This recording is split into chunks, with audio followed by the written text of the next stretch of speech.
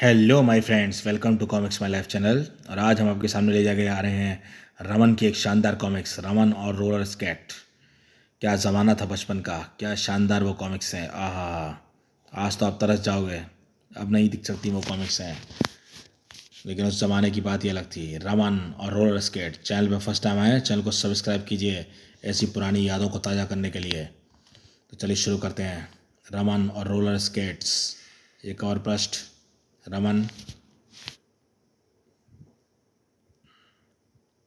यह है प्राण साहब, जो अब नहीं रहे, लेकिन ये हमें शानदार पेशकीमती तोहफा दे गए।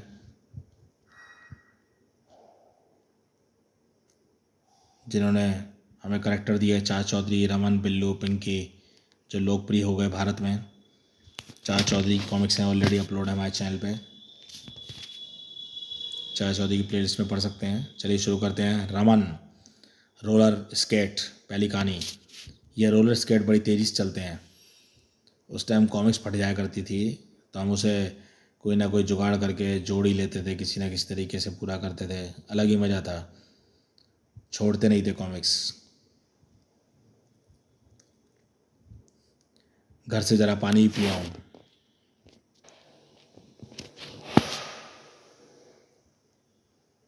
ओहो, बचाओ।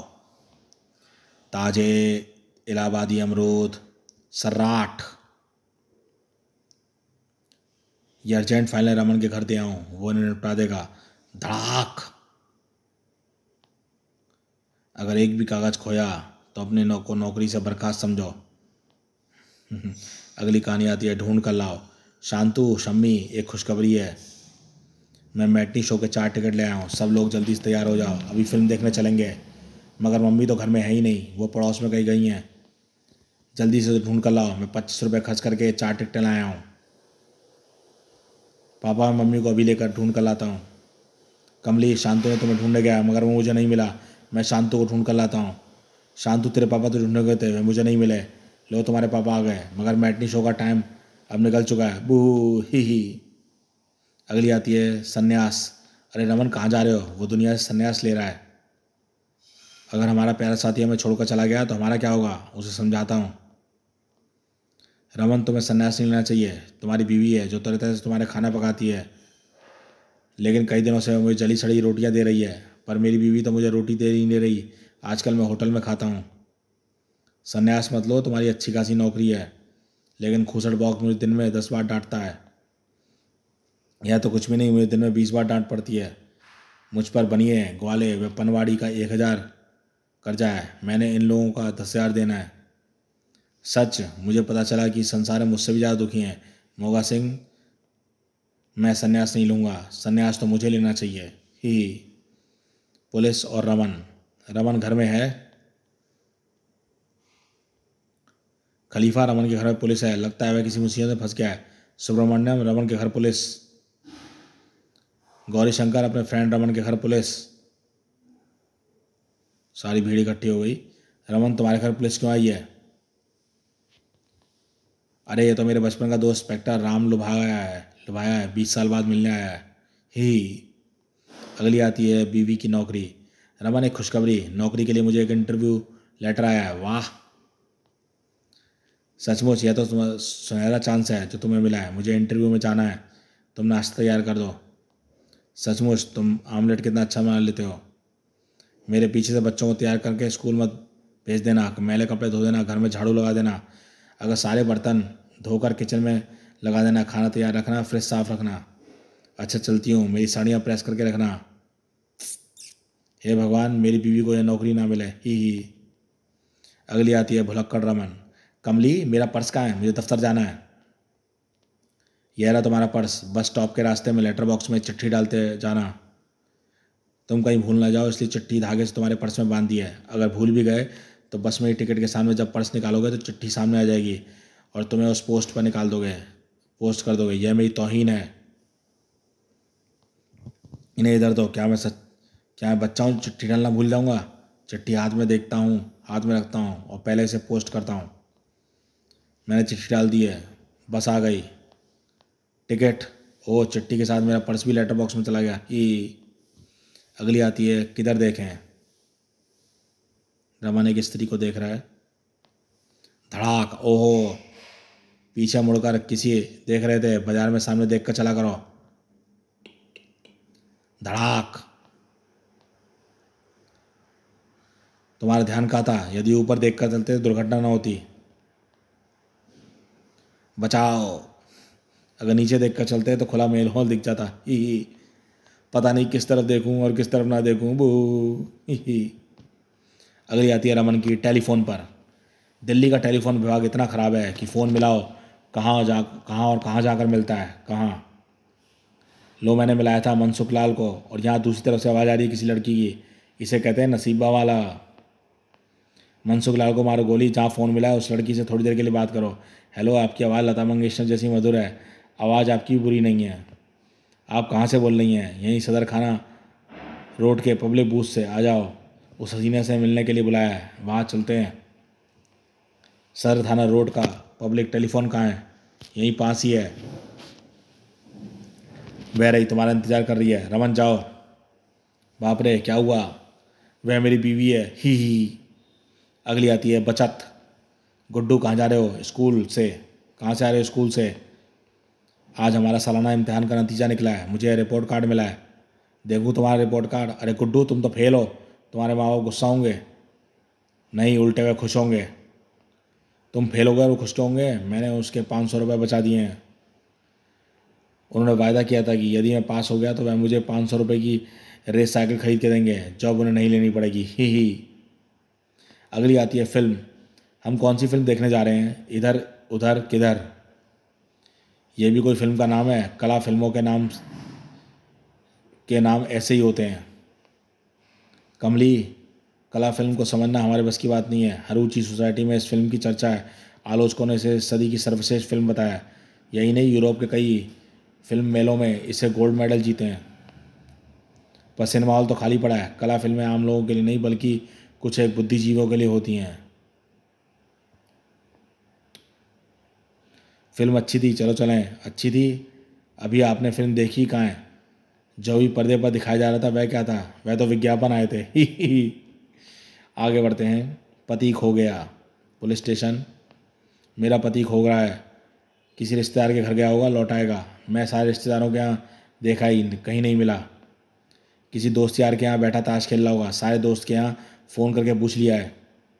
सिवाय जीप स्टार्ट करो, इसके पति को ढूंढना है। सारा छह शहर छान मारा, कहाँ गया वह? सर उस सुशीले का एक आदमी देखा गया है, कहाँ? वह राशन की लाइन में खड़ा है, ही ही। अगली आती है, नौकरी। सुब्रमण्यम तेरा मुँह क्यों लटका हुआ है? बॉस ने हमको नौकरी से निकाल दिया। हम दूसरी जगह नौकरी ढूँढने जाता। तुम्हें कहीं भी जाने की ज़रूरत नहीं है। मैं जाकर अभी उस बुढ़े से बात करता हूँ। सर, आप सुब्रमण्यम को नहीं निकाल सकते। वो इस कंपनी का पुराना और वफादार मुलाजिम है। वो आज तक दफ्तर लेट नहीं आया। हमेशा काम को ठीक समय पर निपटाता है। उसके व्यवहार को किसी और को शिकायत नहीं है, उसकी लगन और मेहनत से कंपनी को लाखों का फ़ायदा हुआ है। बदले में आपने यह नाम दिया कि उस गरीब को नौकरी से निकाल दिया। बकवास कर चुके सुनो कंपनी ने दो में से एक को निकालना है। तुम्हें या सुब्रमण्यम को। सुब्रमण्यम, फ़िक्र ना करो, तुम्हें कहीं इससे भी बढ़िया नौकरी मिल जाएगी। अगली आती है एथलीट खलीफा, क्या बात है? आजकल मोगा सिंह दिखाई नहीं देता। वो वहाँ बैठा है। उस पर एथलीट बनने का भूत सवार है। जिमनेज्म रमन, किसी खेल में मुझे कामयाबी नहीं मिल रही। काफ़ी देर से डबल बार मारने करने की कोशिश कर रहा हूँ, पर हर बार नीचे गिर पड़ता हूँ। मोगा सिंह, तुम्हें गेला, गोला फेंकने में महारत क्यों नहीं हासिल है? यह आसान है, और तुम्हें सस्ती सहूलत भी मिलेगी। तुमने उसे गोला फेंकने की राय क्यों दी? उसे उस रास्ते पर लाने का एक तरीका है। भारी गोला जब पैर पर गिरेगा तो मोगा सिंह अस्पताल में नज़र आएगा। एथलीट बनने का भूत सिर पर से उतर जाएगा। अभी आगे खड़े हो, उसकी चीख सुनने के लिए। रमन ने मुझे नेक सलाह दी थी, यह सचमुच आसान है। उई, ही अगली आती है नज्म और टीवी। रमन, मैंने एक नई नज्म लिखी है, सुनाऊँ? अभी नहीं, अंतरिक्ष यात्रा पर टीवी में एक फ़िल्म आने वाली है, मैं उसे देखने जा रहा हूँ। अरे, अंतरिक्ष में तो आदमी अभी पहुँचा है शायर तो सदियों पहले चाँद पर उतर चुका था। माफ़ करना यार, खलीफा, टीवी का यह प्रोग्राम मैं छोड़ना नहीं चाहता। एक मामूली टीवी प्रोग्राम के लिए उसने मेरी जज्बाती नज़म को ठुकरा दिया। मैं भी उसे प्रोग्राम नहीं देखने दूँगा। कट, एंटीना के तार काट दिए हैं टीवी गुल हो जाएगा और वह झक मार कर नज्म सुनेगा। आई मेरा पैर फिसल गया। बड़ाम। रमन, मैंने तुम्हारा एंटीना तार काटने छत पर गया था। तुमने ऐसे ही तकलीफ़ की। मेरे टीवी में पोर्टेबल एंटीना है। उस ज़माने में एंटीना हुआ करते थे। हम तार हिला हिला के सही करते थे एंटीने अगली आती है इंटरव्यू। सर, ये पाँच सौ रुपये का नजराना रखिए। आपके दफ्तर में क्लर्क की जो पोस्ट खाली है, उस पर मुझे रख लीजिए। रमन, मैं इंटरव्यू में तुमसे सबसे आसान सवाल पूछूँगा और तुम चुन लिए जाओगे। धन्यवाद, सर। दूसरे दिन रमन इंटरव्यू के लिए अंदर आओ। रमन, बताओ, सुबह सूरज किस तरफ़ से निकलता है? शिवालय के मांग के पीछे से। हाँ हाँ हाँ। शिवालय का मंदिर किस तरफ़ है? राम लुभाया के घर के सामने आखिरी चांस देता हूँ। और बताना रोम राम लुभाया और घर का शिवालय किस तरफ़ है? आमने सामने, हा हा अगली आती है लॉटरी का टिकट। रमन लखपति बनने का सुनहरी मौका सुनहरी मौका है। एक रुपया तुम डालो, एक मैं, एक दो रुपये का टिकट लेते हैं, इनाम पर आधे आधे बांट लेंगे। आसाम स्टेट लॉटरी, इनाम, दस लाख, टिकट दो रुपये ठीक है। एक टिकट देना, मैं टिकट रखता हूँ कल लॉटरी का।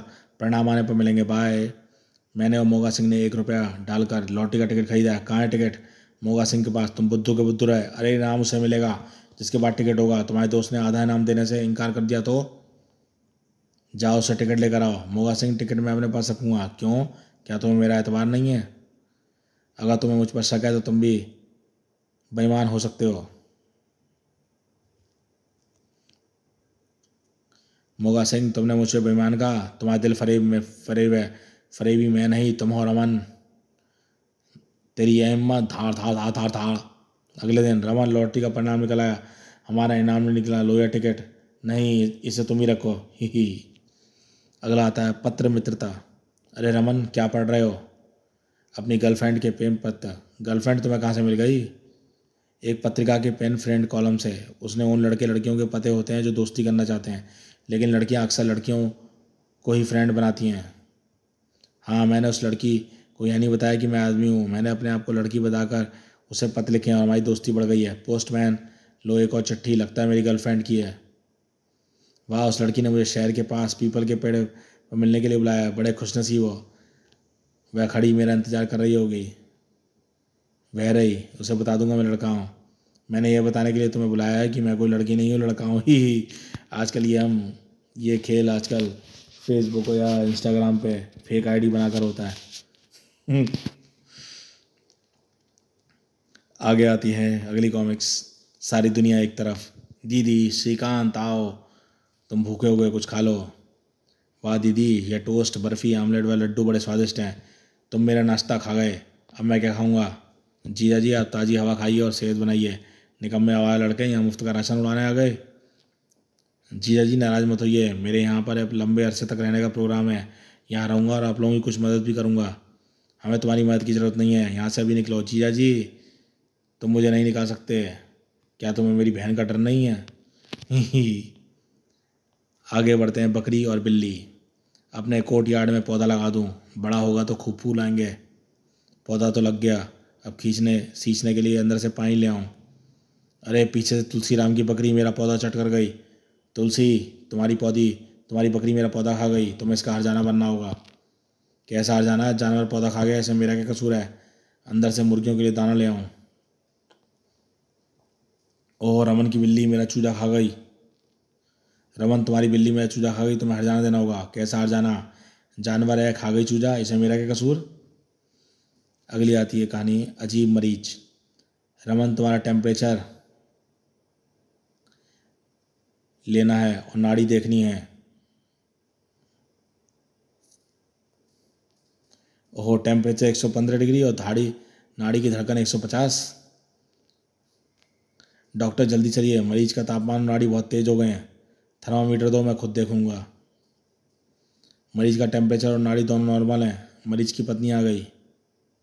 मैंने तुम्हारी उसकी नाड़ी और टेम्परेचर तो बहुत ऊँचे थे डॉक्टर ने देखे तो नॉर्मल थर्मामीटर मुझे दो, मैं देखती हूँ। उसकी नाड़ी और धड़कन टेम्परेचर नॉर्मल से काफ़ी नीचे हैं, अजीब मरीज़ है। आप तो समझ ही गए होंगे क्या बात हुई है। ही ही अगली आती है, बाहर कौन है? क्यों ना रमन के साथ मज़ाक किया जाए, उसके दरवाजे की घंटी बजाते हैं। बैंग ट्रेन ट्रेन कोई आया है? देखो कौन है। अरे बाहर तो कोई नहीं है।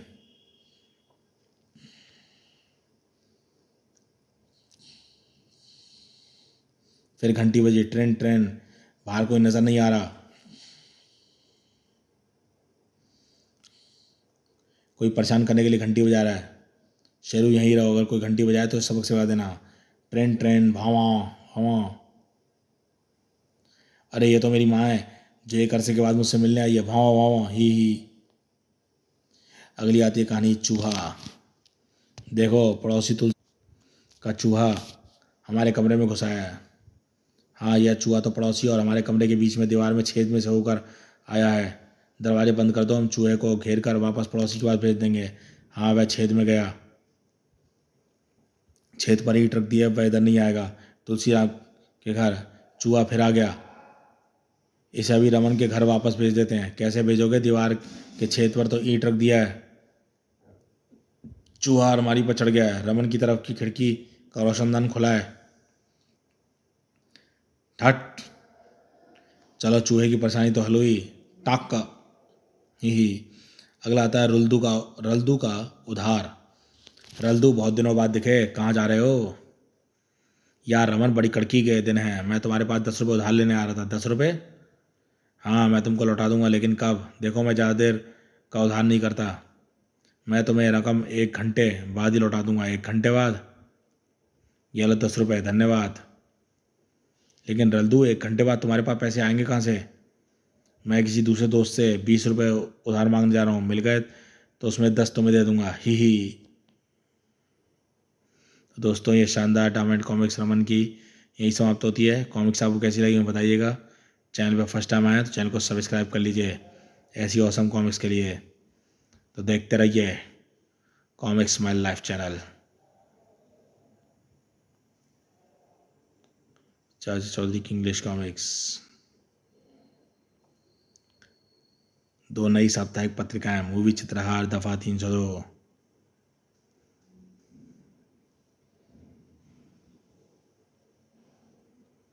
डायमंड कॉमेज विक्की आनंद का नया उपन्यास, गरम राख। ऐसा सस्पेंसफुल ड्रामा जो आपने पहले कभी नहीं पढ़ा होगा। विक्की आनंद, गरम राख। जासूसी उपन्यास जो आपकी रातों की नींद उड़ा देगा। कि आनंद का नया उपन्यास, मुलजिम। मौत के सौदागर। देखते रहिए कॉमिक्स माई लाइफ चैनल